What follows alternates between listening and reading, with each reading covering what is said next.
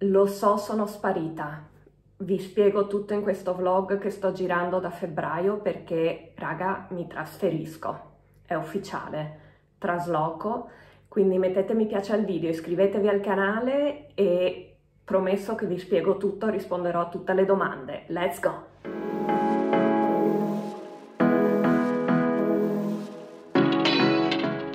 Cominciamo chiarendo subito un dubbio amletico, la domanda che tutti mi fanno, ma quindi ti trasferisci definitivamente in California e ti sposi? No ad entrambe, per il momento, non è nei nostri programmi. Eh, in che senso? Allora, eh, fin dal 2019 eh, il programma era sempre lo stesso, poi è arrivata la fine del mondo e quindi abbiamo dovuto mettere in pausa il programma Qual era questo programma? Il programma era di, eh, di diventare nomadi digitali. Eh, sia io che il mio compagno lavoriamo online, quindi non abbiamo problemi a viaggiare, o meglio, abbiamo meno problemi di altre persone a viaggiare. Ovviamente il mio compagno adesso ha la casa a Santa Cruz, vi metto i link se volete andare a vedere eh, le descrizioni della casa di Santa Cruz e quindi è un po' più eh, stazionario, diciamo così, però io eh, sono sempre stata in affitto qui e quindi il mio contratto sta scadendo e quindi è la volta buona eh, che diventerò nomade digitale. E sì, andrò eh, in California eh, per i soliti due mesi e mezzo, tre mesi, se mi lasciano entrare, ma quello ce lo racconteremo poi quando sarà il momento e, ehm, e quindi eh, farò questi tre mesi quest'estate e, ehm, e poi viaggerò.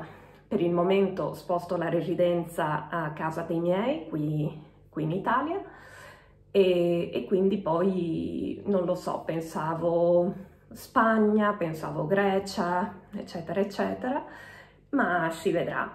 Per quanto riguarda il ti sposi, no, eh, perché eh, se avete mai visto eh, 90 Days Fiance, eh, che sarebbe 90 giorni per innamorarsi, reality show, sapete bene che è un procedimento non semplicissimo quello di sposarsi. Comunque non è che ce l'abbiamo neanche nei programmi, eh, sarebbe solo un modo per me di entrare più facilmente negli Stati Uniti e per lui di entrare più facilmente in Europa però in realtà um, al di là dell'aspetto pratico non è che, um, che abbiamo questa intenzione.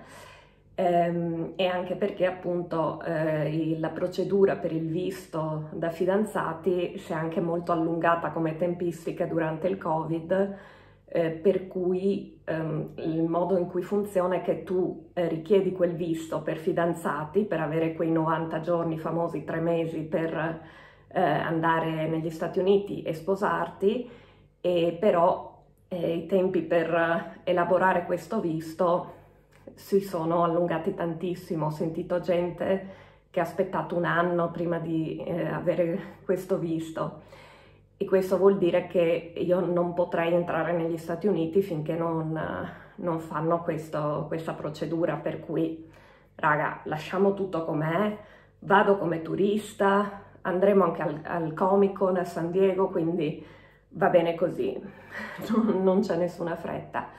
E a proposito di eventi, cose, avvenimenti, eh, adesso andiamo a vedere un vlog che ho registrato qualche tempo fa eh, delle agende di questi sei anni che ho trascorso in questa casa.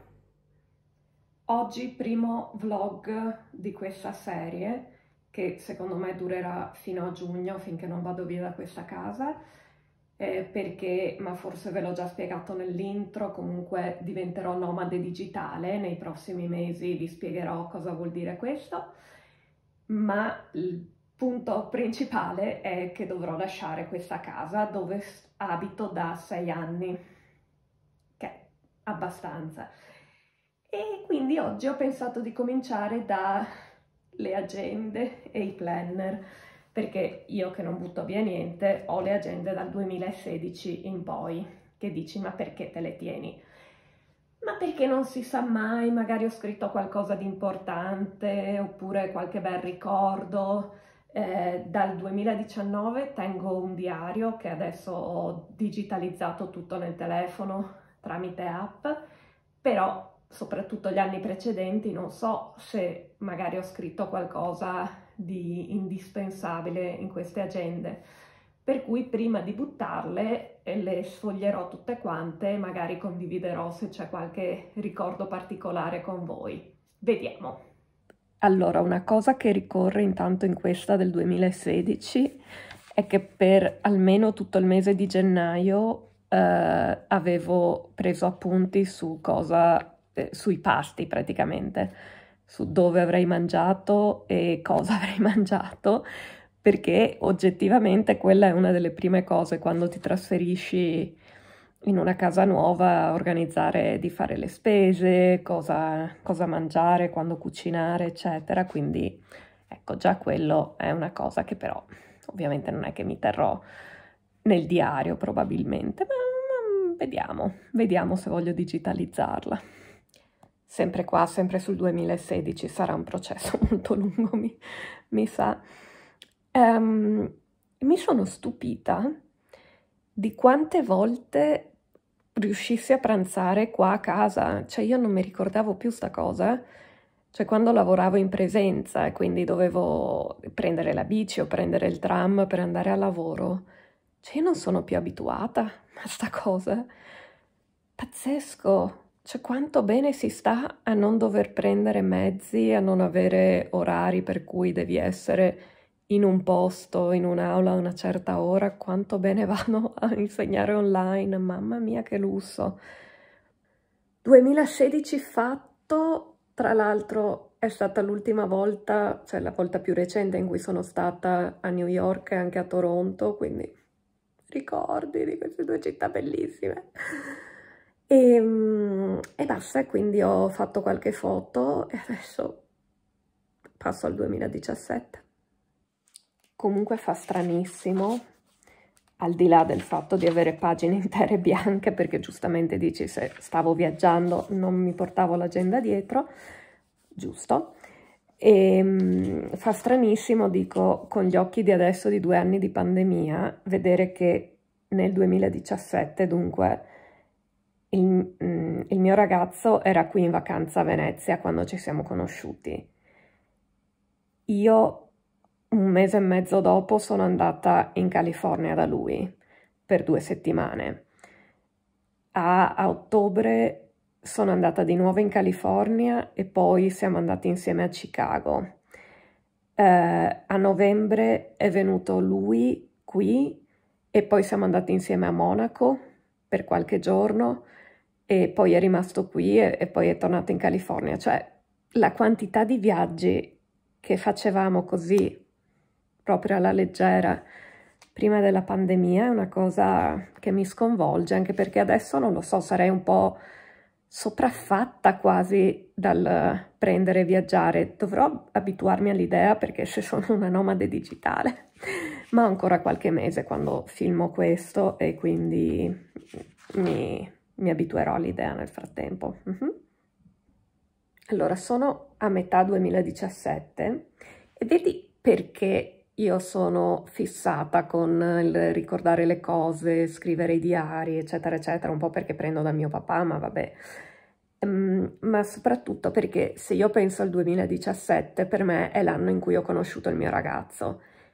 Però c'è tutta una metà anno prima di conoscere il mio ragazzo di cui mi ero assolutamente dimenticata, cioè il fatto che per esempio avessi provato a correre che tenerezza. Eh, pensando che potesse essere uno sport per me, non lo è, spoiler alert, e il fatto che ehm, eh, co così provando a correre però mi sono finalmente resa conto che c'era qualcosa che non andava e ho a suo tempo scoperto di essere asmatica per esempio. E, ehm, e poi il, il, fatto che eh, fosse il primo anno in cui eh, il gruppo di studenti canadesi che so che guardano i miei video, quindi ciao, ciao! Uh, sono venuti in vacanza studio qui in Italia e quindi quello è stato il primo anno in cui ho organizzato la loro vacanza studio con il corso di italiano, eccetera. E l'anno dopo, io non vedo l'ora di vedere l'agenda dell'anno dopo perché è stato un delirio quel viaggio, però ho dei ricordi fantastici di quel viaggio, veramente. E, ehm, e, e un'altra cosa che ho notato è la totale assenza di qualunque riferimento al mio ragazzo nei giorni in cui so di averlo conosciuto. per cui per scaramanzia probabilmente ho detto no, non scrivo niente nella, nel, nella mia agenda, nel, nel mio diario e, e, quindi sì, non ho alcunché da, da digitalizzare in quei giorni. Mamma che ricordo! ricordi sbloccati ehm, solo dal fatto che ho scritto che ero a Venezia, centro storico, eh, per il mio compleanno febbra eh, a febbraio 2018 e mi ha sbloccato i ricordi perché eh, quell'anno ehm, ero, eh, ero, con il mio ragazzo che era ancora qui eh, per, per quel mese e mh, abbiamo eh, noleggiato gli abiti, i costumi proprio tipici veneziani per il carnevale e abbiamo fatto questo weekend di carnevale tradizionale veneziano, una cosa da sogno. Io giuro era fin da bambina che sognavo di fare il carnevale tipico veneziano e ce l'ho fatta con con il mio ragazzo abbiamo fatto tantissime foto bellissime e ho dei ricordi pazzeschi di quel weekend, bello, bello, bello. Per non parlare ovviamente della vacanza a Mykonos che abbiamo fatto una settimana con il mio ragazzo quell'anno e bellissime, bellissime le isole greche, quelle sono una destinazione molto probabile dei, dei miei viaggi futuri. Mm -hmm. Ma poi scusate, vogliamo parlare dei concerti? Cioè, avevo rimosso, ho passato quello che ho visto a novembre 2017 di um, Brian Adams. Adesso mi è sbloccato un nuovo ricordo, uh, Zucchero, in piazza San Marco a Venezia, fantastico, e poi credo arriverà presto lo stesso anno Giovanotti, cioè, noi adesso abbiamo il, il biglietto per andare a vedere i Maneskin al, all'Arena di Verona. Quando uscirà questo vlog saprò già se siamo andati oppure no, perché no, non sappiamo ancora se ci fidiamo ad aprile 2022. Questa è la mia faccia, sempre stravolta dal numero di viaggi che facevo prima della pandemia. Ho trovato un volo per Londra un weekend 2018 o oh, mi ricordassi perché sono andata a Londra quel weekend. Non che serva una ragione per andare a Londra, però così, mm, debotto, senza senso. Vabbè, comunque sì, ho fatto parecchi viaggi prima della pandemia. Appena finito di dire dei concerti, non ci credo. Cioè, ero completamente dimenticata, siamo anche andati ad Asti, Asti per il weekend a vedere le vibrazioni. Io, boh, sconvolta, ma quanti concerti guardavamo? E sono arrivata a, que a quello che vi anticipavo prima, cioè il, il viaggio um, con uh, la vacanza studio con il gruppo di uh, studenti canadesi, che saluto di nuovo, ciao! e, ehm, e praticamente loro eh, sono venuti qui per due settimane in cui alla mattina io insegnavo eh, l'italiano, facevo il corso di italiano e poi al pomeriggio organizzavamo delle gite. A parte il lavoro mastodontico di organizzare tutte le gite, tutti i biglietti, eccetera, ma la prima settimana ero io la responsabile delle gite e, e quindi li ho, li ho, accompagnati a Vicenza, li ho accompagnati a, a Bologna, mm, li ho accompagnati a Sirmione dove ci siamo persi, una cosa tragica, e la seconda settimana in teoria ehm, non era più corso di italiano, ma era proprio eh, gita eh, a Napoli. Solo che in teoria dovevano, ehm, dovevano andare con una collega napoletana, la quale si è ammalata pochi giorni prima della partenza, quindi nel panico più totale li ho accompagnati io pur non essendoci mai stata. Eh, un'avventura, cioè abbiamo scoperto Napoli insieme praticamente in quei giorni, siamo stati anche a Capri, eh, siamo stati, dove siamo stati? Eh, eh, siamo andati a visitare Pompei, cioè una cosa fantastica però un'avventura veramente, una cosa dietro l'altra, tutto quello che poteva capitare tra borseggiatori, eh, infortuni, mh, mm, tragedie, cioè tutto, tutto, tutto quello che poteva capitare è capitato e, e ci ha lasciato dei, dei bellissimi ricordi però, molto molto intensi. No, vabbè, aggiungiamolo alle cose che avevo completamente rimosso giustamente settembre 2018, altro viaggio, sono andata in California a, a girare il primo dei miei corsi LinkedIn Learning. E quindi c'è anche quel viaggio da aggiungere. E poi così debotto senza senso anche qua Roma. Sono stata evidentemente un weekend una giornata a Roma a far cosa non mi ricordo non lo so. Però sono stata a Roma. Ok e un weekend a Parigi non te lo vuoi fare, abbiamo fatto anche quello. E poi a dicembre 2018 sono andata di nuovo in California a girare il secondo dei miei corsi LinkedIn Learning, quindi eh, un anno sempre in viaggio praticamente in confronto a questi ultimi due anni.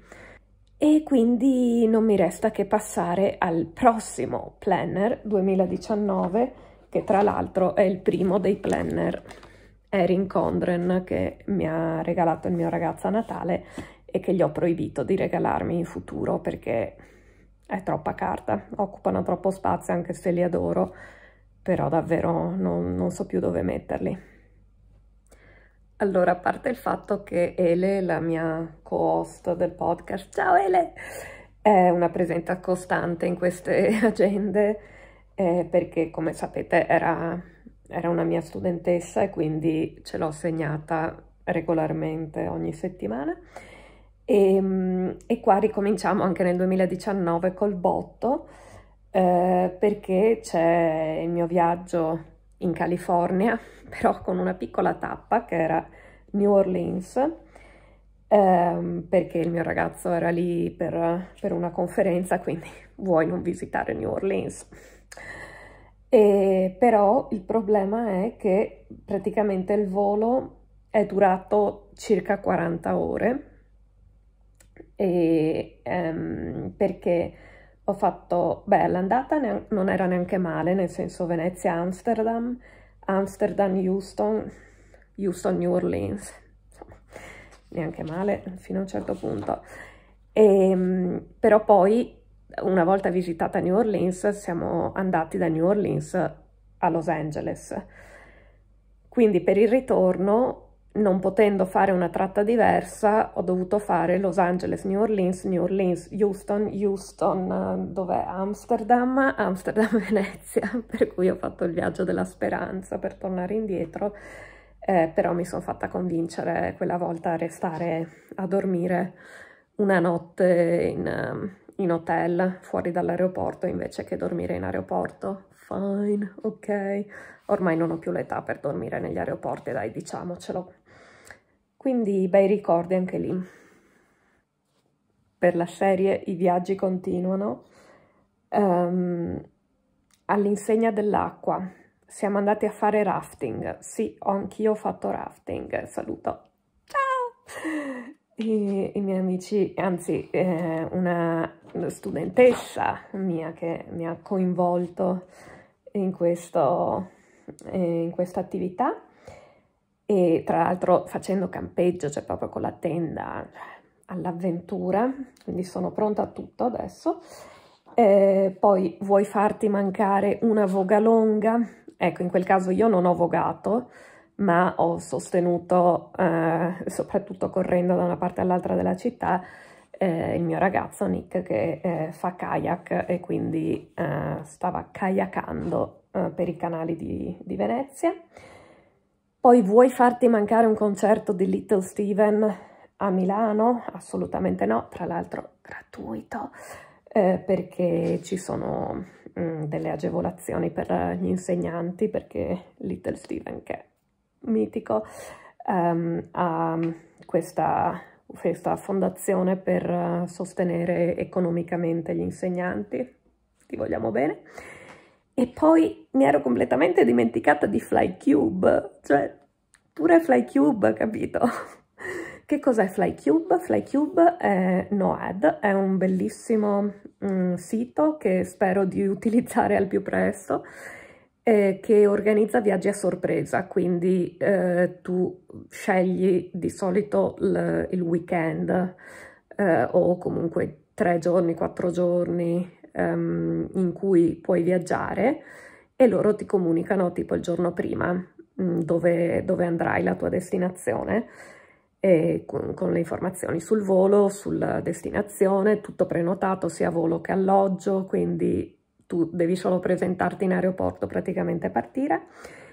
E um, noi siamo stati a Berlino con FlyCube, qui in, in giugno era, giugno del 2019. No, secondo me siamo stati prima, prima a Berlino ed era a marzo-aprile del 2019 e invece eh, in estate siamo stati a Catania con, sempre con FlyCube e perciò merita, merita tanto, soprattutto se non avete idea di, di dove andare in vacanza per un weekend, dite ma eh, facciamoci sorprendere e mm, quindi è molto, molto consigliato sperando di poter viaggiare al più presto. Io chiederò a Ele se posso mettere questo, questo piccolo um, questo piccolo dettaglio del mio vlog, ma ho trovato, mamma la commozione, ho trovato l'appunto del giorno in cui ho fatto l'orale della maturità, 2019, e quest'anno andrò a vederla che si laurea, cioè non ci rendiamo conto, mamma mia come vola il tempo e, e tra l'altro ho ancora la tazza che mi ha regalato che è in assoluto la mia preferita. Ciao Ele! Sempre la mia cost del podcast, per contesto. Eh, ma qua con l'estate 2019 si vola, nel senso che um, intanto ho il concerto di Ligabue allo Stadio Olimpico di Torino, cioè noi prendevamo veramente, andavamo dappertutto per, eh, in Piemonte soprattutto per eh, i concerti e, e poi eh, siamo partiti per Londra eh, in quell'estate e eh, mi ha sorpreso il mio ragazzo con eh, i biglietti per andare a vedere lo spettacolo di Harry Potter um, and the Cursed Child a teatro. Ah, fantastico! Insieme ad altri spettacoli di teatro che abbiamo visto quell'estate. Mamma mia, che ricordi! Vabbè, l'estate del 2019 in California non la riassumiamo neanche perché ho cominciato la mia attività di literature coach, quindi di insegnante online, è stato un turbinio di tutte le emozioni possibili e immaginabili. Um, sono, siamo stati al Comic Con a San Diego, siamo stati a Portland a trovare i nostri amici, uh, visitare Seattle, um, è stata una cosa incredibile, abbiamo visto le Heart, um, Collective Soul e chi altro, uh, appena letto, um, ovviamente Southside Johnny and the Asbury Jukes con ospite speciale Richie Sambora, se siete fan dei Bon Jovi, una roba grande. E quindi cioè, è stata veramente un cambio di vita e di prospettiva totale nell'arco di un'estate con lo shock anafilattico di cui ho parlato su, su TikTok, eh, causato da una puntura d'ape probabilmente. E, ehm, e però, uff, wow, quanti ricordi. E adesso sono verso la fine del 2019, dai che ce la facciamo entro oggi a finire tutte le agende, dai! Come prevedevo il 2020 è stato molto rapido, un po' perché avevo già cominciato a scrivere il diario a parte, quindi non ci sono grandi note o appunti eh, di rilievo, ma soprattutto perché è stato il 2020. Non mi aspetto che il 2021 sia molto più, più affollato di, di grandi idee, grandi spunti nell'agenda, quindi dovrei finire tra poco. Come previsto, il 2021 non ha riservato grosse sorprese, mi ricordavo più o meno tutto, ma per fortuna, dai, era l'altro anno, e c'erano solo appunto dei cuoricini vari il giorno che il mio ragazzo finalmente è arrivato in Italia dopo 515 giorni che non ci siamo visti a causa della pandemia e a parte quello, devo dire che è catartico e dà molta soddisfazione il fatto di strappare le pagine per poi buttare via le agende vecchie. Quindi agende fatte, forse domani mi lancio nello scrapbooking, ma non lo so, devo vedere se mi sveglio dell'umore giusto.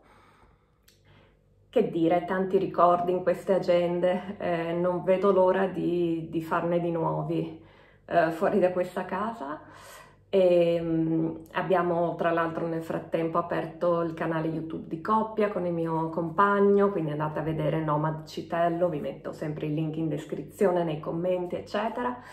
E um, non siamo andati ai concerti di cui avevamo i biglietti, purtroppo, perché comunque la situazione ci sembrava sempre troppo, troppo incerta a livello di Covid, soprattutto per i voli per lui che sarebbe dovuto eh, volare qui.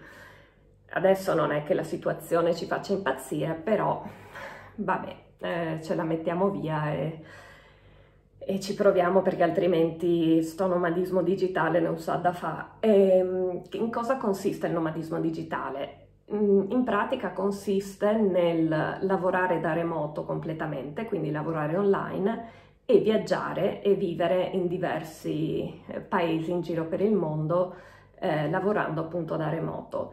Può funzionare in modi diversi per ciascuno, mh, mm, ciascun nomade digitale perché comunque c'è chi lavora per un'azienda e eh, può essere mandato all'estero, c'è come il mio compagno che lavora per la Big Tech, quindi per Microsoft, eh, e ehm, può chiedere il permesso di lavorare dall'estero ehm, in alcuni mesi dell'anno.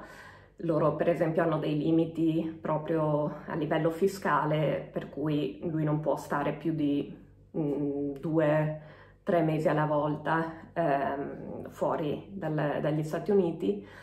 Um, io per esempio uh, ho partita IVA italiana che uno mi dice ma chi te lo fa fare?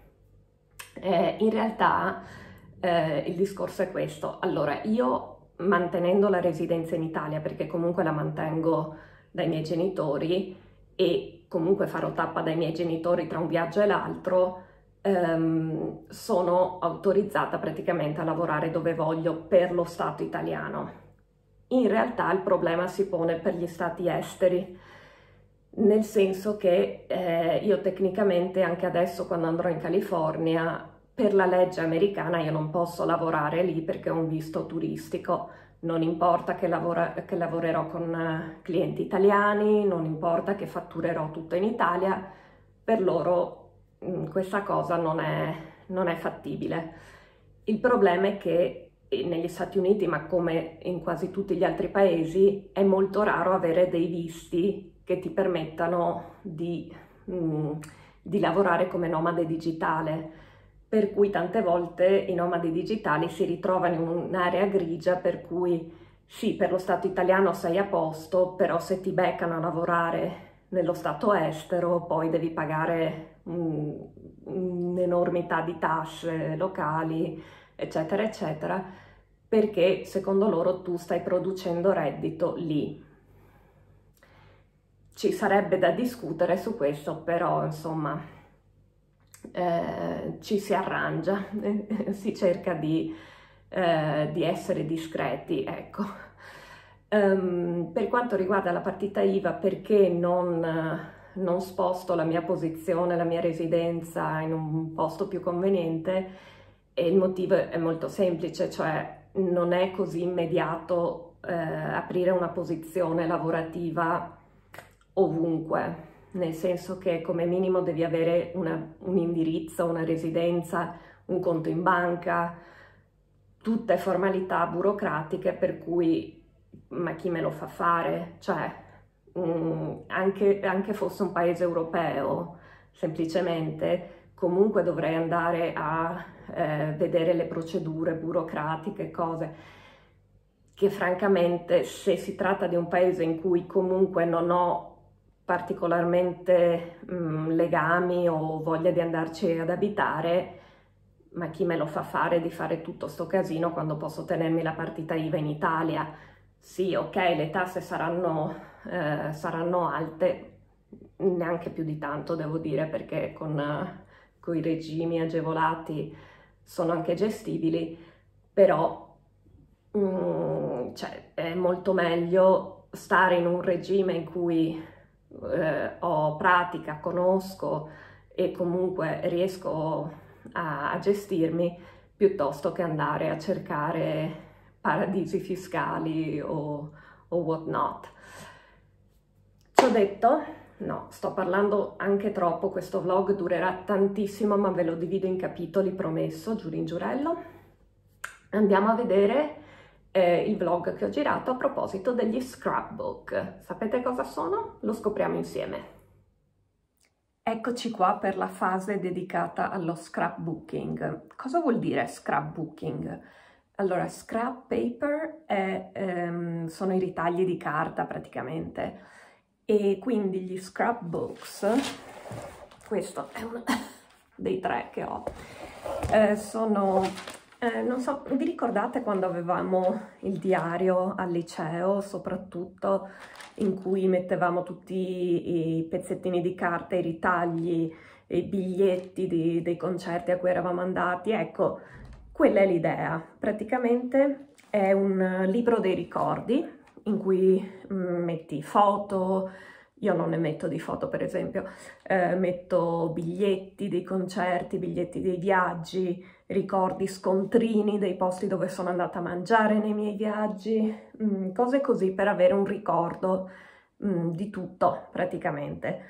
E appunto come dicevo questo è il terzo che sto completando e, mh, mm, e però in uno sforzo di digitalizzare il più possibile come ho fatto con le agende finirò questo album, non mancano tante pagine e, e poi basta eh, cioè digitalizz digitalizzerò tutto quanto d'ora in poi. E, però sono a buon punto perché sono arrivata alla fine del 2018 in quest'album, non me lo aspettavo, credevo di essere molto più indietro e quindi non mi resta che raccogliere tutti i ricordi che ho, che ho messo da parte in questi anni e aggiungerli al mio album. See you later!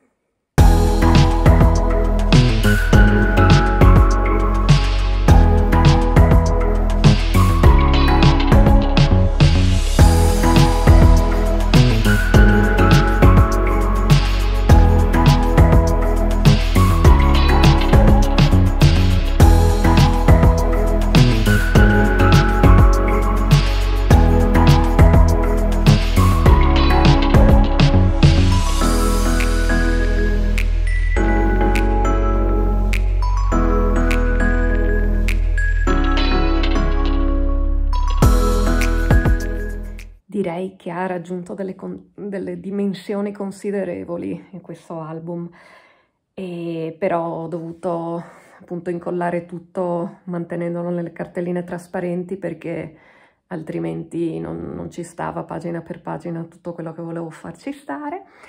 E soprattutto ho tenuto, come faccio spesso, eh, i giornali locali quando viaggio, mi piace prendere una copia dei giornali gratuiti soprattutto per, um, per vedere quali sono i titoli, le notizie più interessanti del periodo, eccetera. C'è molto Trump in questo periodo. E um, poi ci sono stati, ok, momenti di commozione tra lettere dei, dei miei ex studenti, ciao Francesca, e, um, e purtroppo eh, tutti i ritagli di giornale su Federico, il nostro amico che è scomparso, un bacione a Elena e un abbraccio. E, um, e niente, e quindi adesso cercherò in qualche modo di infilarlo in uno scatolone con gli altri scrapbook e anche questa fase è andata. Yeah! Mamma mia raga, quanto più vuota è casa mia da, da quando ho girato questi vlog. Assurdo! In ogni caso, um, sono in ansia per questo trasloco, per questo cambio di vita? No, pochissimo. Sì, ovviamente sono in ansia, un'ansia positiva. Uh, c'è questa parola che hanno coniato, non mi ricordo se è Brené Brown o Glennon Doyle che ha creato la parola skited, cioè scared and excited, cioè questa paura ed emozione insieme che sono però anche positive, no? E è un cambiamento che mi ci voleva, che ho aspettato, sono ormai tre anni che aspetto di fare questo cambiamento drastico e ciò non vuol dire che non sia decisamente in ansia, anche perché appunto la mia prima tappa, essendo negli Stati Uniti, tutto bene negli Stati Uniti, non mi pare, cioè, eh, arrivano, continuano ad arrivare notizie deprimenti dello stato sociale, soprattutto degli Stati Uniti, e, e sì, it's pretty bad, devo dire. Eh, perché comunque adesso senza entrare in grandi analisi sociopolitiche, però una cosa fatemela dire, fondamentalmente i quattro anni di Trump hanno posto le basi per tutto quello che vedremo da qui a non so quando, perché comunque Trump o chi per lui eh, ha, mh, ha, praticamente invaso tipo metastasi eh, tutte le, mh, le posizioni eh, legali, eh, politiche, eccetera, a livello locale quindi lui ha eh, nominato giudici, eh, ma non solo quelli della Corte Suprema, ma anche giudici minori, eh, fedelissimi in posizioni strategiche, eccetera.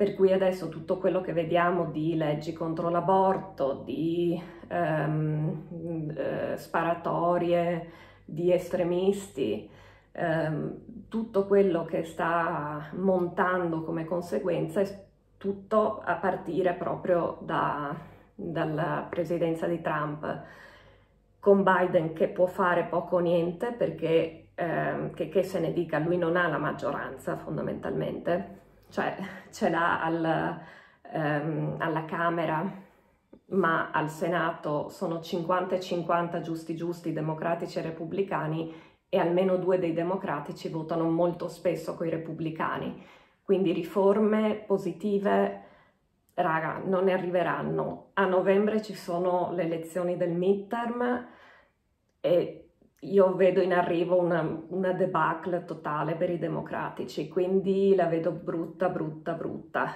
eh, la situazione negli States, quindi dimmi perché ci vai. Diciamo che la California ancora si salva in questo panorama tragico e quindi speriamo che la luce in fondo al tunnel prima o poi arrivi, ecco. Eh, però no, gli Stati Uniti non stanno affatto bene, raga. Proprio mettiamocela via. Detto questo, eh, un ultimo vlog dal passato, questa volta con gli ultimi libri che ho, eh, che ho abbandonato da, da questa casa. Proseguo con scatole, scatoloni e svuotare tutto il possibile dall'appartamento e adesso sono in fase di eh, svuotamento libri. Quindi, eh, siccome una mia studentessa mi ha chiesto consigli su thriller belli da leggere, ho colto l'occasione e le manderò tutti i libri che ho di Linwood Barclay, autore canadese che vi consiglio tantissimo, ma dovrò scrivere le dediche perché li vuole con la dedica. e poi porterò dai miei questo libro che è stato trovato tra le cose di mia nonna um, e, ed è un libro di ricette di Pellegrino Artusi per la prima volta pubblicato, se non sbaglio, nel 1800 e qualcosa, 1891. Ed è interessante perché vi voglio leggere certe cose che vengono proprio scritte, che sono assurde. Per esempio, trita carne, definizione perché c'è una pagina di vocabolario, perché giustamente magari non si sa, ho adottato anch'io nella mia cucina questo strumento che risparmia la fatica di tritare col coltello e pestare nel mortaio la carne. Eh, giustamente, grazie di, di avercelo detto. Poi per quanto riguarda le ricette vere e proprie, ecco, come farci mancare un bel risotto coi ranocchi. YouTube mi, mi cancellerà il video dopo questa, non, non, vi dico la ricetta perché veramente vengo bannata a vita, um, ma mi raccomando l'acqua bella calda, um, circa 12 ranocchi per risotto, oddio mio, aiuto, eh, cioè credo che parli proprio di ranocchi, ahimè, e, quindi sì, è andata così ci sono i sandwich senza la ES finale, solo con la S finale. Bellissimo perché poi ci sono anche i diametri di alcune cose, questo è il diametro dei Kraffen, una tedescheria, cito testualmente. Oh mio Dio! Ci sono ricette di piccioni di tutti i tipi, che non dovrebbe farmi così orrore perché voglio dire mangiamo il pollo, mangiamo la quaglia, cioè cosa cambia, però non lo so, mi fa, mi fa un certo che vederlo scritto. Oh, oh, oh, oh, bue alla California? Sì, praticamente è un, un arrosto di, di manzo. Interessante il titolo di arrosto morto, come sono gli altri arrosti in questo libro? Ma non, non lo scopriamo meglio. No, vabbè, c'è l'aggiunta, l'appendice, si dice appendice o appendice? Non mi ricordo mai. Cucina per gli stomachi deboli.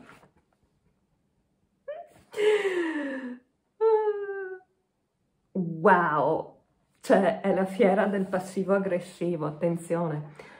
Ora si sente spesso parlare della cucina per gli stomachi deboli, la quale pare sia venuta di moda. Bisognerà quindi dirne due parole, senza pretendere coi miei precetti né di rinforzare né di appagare questi stomachi di carta. Eh, cioè calmo, eh, ragazzo. Ok, um, nonostante non sia facile, praticamente mi studierò a indicare quei cibi che, a mio parere, più convengono ad uno stomaco fiacco e di non facile digestione. Fantastico, cioè vedi come sono cambiate le cose dal 1891? E partendomi dal primo ed unico alimento che la natura somministra ai mammiferi appena nati, il latte. Ritengo che di questo potete usare ed abusare a piacere se non vi produce disturbi gastrici. Scusa, cioè, stai dando consigli per la digestione e dici, cioè bevete quanto latte volete a meno che non vi dia disturbi, grazie, ma cioè, allora è tutto, mangia tutto quello che vuoi, basta che non ti dia disturbi, cioè cosa vuol dire? Il brodo più confacente è quello di pollo, di castrato e di vitella. Attenzione. Mi raccomando, la masticazione deve essere fatta accuratamente. È meglio pranzare a mezzogiorno al tocco perché vi dà campo di farci sopra una passeggiata e un sonnellino in estate. Oh, e qua siamo nel campo dell'alimentazione intuitiva, attenzione Veramente non si dovrebbe ricorrere al cibo se non quando lo stomaco chiede con insistenza soccorso, il che si ottiene più specialmente con l'esercizio del corpo, perché questo e la temperanza sono i due perni sui quali sta la salute. avantissimo nel 1891 e qua fa tutto l'elenco riguardante il libro di ricette su quali piatti fare riferimento per gli stomaci deboli, c'è veramente pagine e pagine per ogni capitolo. Uh, poi ci sono le ricette per le feste, per ciascuna festa. Colazione alla forchetta. Non, non so che cosa si intenda per le colazioni alla forchetta, perché poi si distinguono dalle note di pranzi, che sono quelle appunto che mette per ogni, per ogni festa che cosa cucinare praticamente ma io volevo trovare dove parla delle melanzane, perché merita. No, vabbè, il couscoussù con la U finale, il couscoussù. No, L'introduzione. Signore che vi dilettate alla cucina, non mettete questo fritto nel dimenticatoio, perché piacerà ai vostri sposi e per gli ingredienti che contiene forse sarete da essi rimeritate. What now?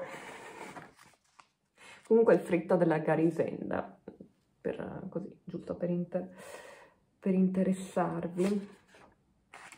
Ho trovato, trovato Petonciani, titolo. Il petonciano, petonciano, non, non so l'accento, o melanzana, è un ortaggio da non disprezzarsi per la ragione che non è né ventoso né indigesto. Si presta molto bene ai contorni ed anche mangiato solo come piatto d'erbaggi è tutt'altro che sgradevole sono da preferirsi i petonciani piccoli e di mezzana grandezza, nel timore che i grossi non siano amari per troppa maturazione. Petonciani e finocchi, 40 anni or sono, si vedevano appena sul mercato di Firenze. Ok, quindi stiamo parlando degli anni metà dell'Ottocento, rarissimi, i petonciani e i finocchi. Vi erano tenuti a vile come cibo da ebrei, No, ma vogliamo metterci un po' di antisemitismo, così che ci avanza, i quali dimostrerebbero in questo, come in altre cose di maggior rilievo, che hanno sempre avuto buon naso più dei cristiani. Ma vai Artusi, vai, tagliela! I petonciani fritti possono servire di contorno a un piatto di pesce fritto. Cioè, leggerezza proprio. Fatti in umido, allesso, in gratella alla bistecca, credo che voglia dire sulla griglia, alle bracciole di vitella di latte o a un arrosto qualunque. Vedi? I petonciani hanno un loro perché. Poi c'è la ricetta per i petonciani fritti, quelli in umido e quelli in gratella. Tortino di petonciani e basta, poi passa ai cardoni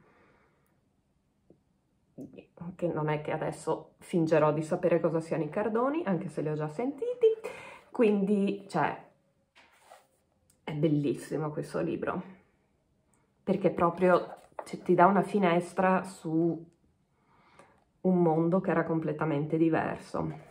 Bene, ciò detto, adesso mi metterò a um, scrivere le dediche e, eh, e imbustare i cinque libri che manderò alla mia studentessa e nel frattempo ascolterò un podcast true crime perché ovvio.